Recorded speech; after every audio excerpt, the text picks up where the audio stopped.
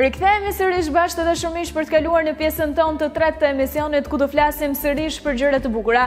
E në fakt këtë herë me sa duket nuk e di sot pse kam vendosur që le të kemi në fokus kryesor vajzat, por ka qëlluar si rastësi.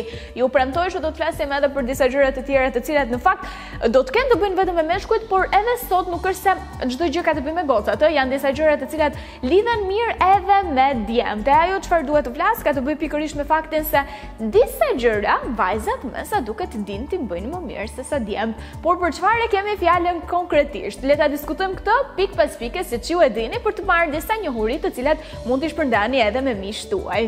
Zakonisht, vajzat janë konsideruar si më të brishta, por ka mijëra e mijëra gjëra të ndryshme që vajzat bëjnë shumë herë më mirë se sa djemtë. Ja disa gjëra prej tyre.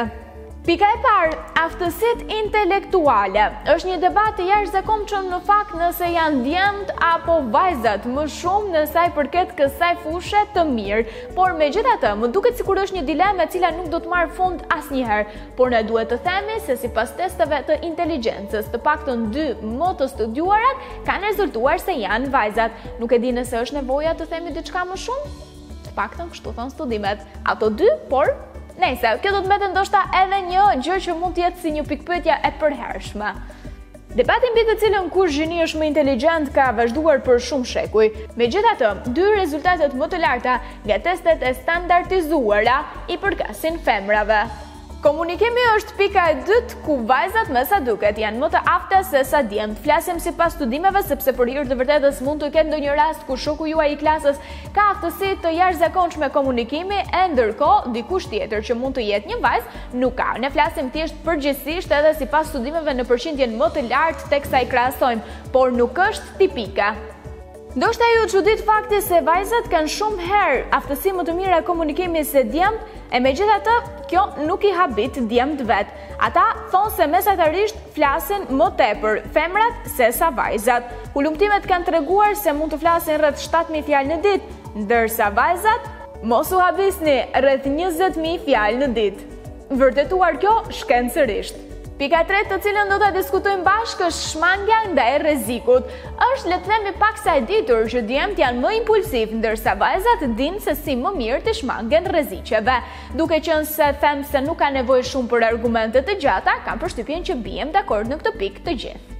Hulumtimet shkencore kanë treguar se vajzat janë më pak të ngjarë të përfshihen në një aksident me makinë ose fatkeqësi në punë. Arsimi është pika e katërt ku do dëshironim të ndaleshim.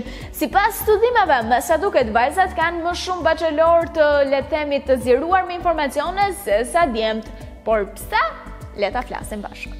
A e dinit se shumë vajza në krahasim me meshkujt, arrin nivele më të larta në arsim, të tilla si bachelor apo master.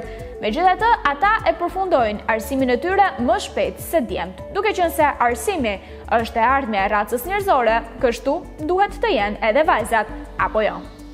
Pika e pesë në të cilën do të ndalemi është tek fakti se vajzat me sa duket kanë jetë më të gjatë se sa djemtë. Edhe pse meshkujt gjithmonë tentojnë dhe mendojnë se janë ata të cilët janë më sundues në botë, studimet nuk tregojnë kështu. Përkundrazi, me sa duket vajzat jetojnë shumë herë më shumë se sa ata, duke pasur le të themi një plus më shumë se sa meshkujt. Shumica e meshkujve vazhdojnë të besojnë se gjinia e tyre është sunduese në këtë botë, por statistikat tregojnë të kundërtën. Disa thonë se gjëja më e rëndësishme në këtë botë është vetë jeta dhe se femrat definitivisht jetojnë më gjatë se meshkujt. Hulumtimet kanë treguar se femrat jetojnë mesatërisht 5 vite më shumë, por kjo nuk është e gjitha. 85% e popullsisë që jetojmë janë më afër pranë moshës 100 vjeç dhe janë vajza. Pika e gjashtë jam e sigurt që në shtëpi apo kudo që po na ndiqni do të sjellë polemika. Investimet. Thonë studimet se ndonjëherë ne kemi atë idenë që djemtë gjithmonë kanë qenë më të mirë në fushën e biznesit, sepse në fakt kur shikon figurat më kryesore janë meshkuj për hir të vërtetës, por me sa duket së fundmi kjo gjë po vjen dhe po sjell një rotacion, duke ndryshuar kështu këtë idenë që në biznes djemtë janë më të suksesshëm se vajzat. Por a është realisht kështu? Duke e ditur se bota e biznesit është ende e drejtuar kryesisht nga burrat, ka ardhur koha që të gjithë pronarët e biznesit të fillojnë promovimin e vajzave. Në fakt, një hulumtim i kohëve të fundit ka treguar se gratë janë investitore më të mira se meshkujt. Në rastin e femrave të ardhurat mesatarisht janë rritur me 18%, ndërsa në rastin e burrave kanë arritur vetëm 11%. E po, numrat flasin vetë. apo jo.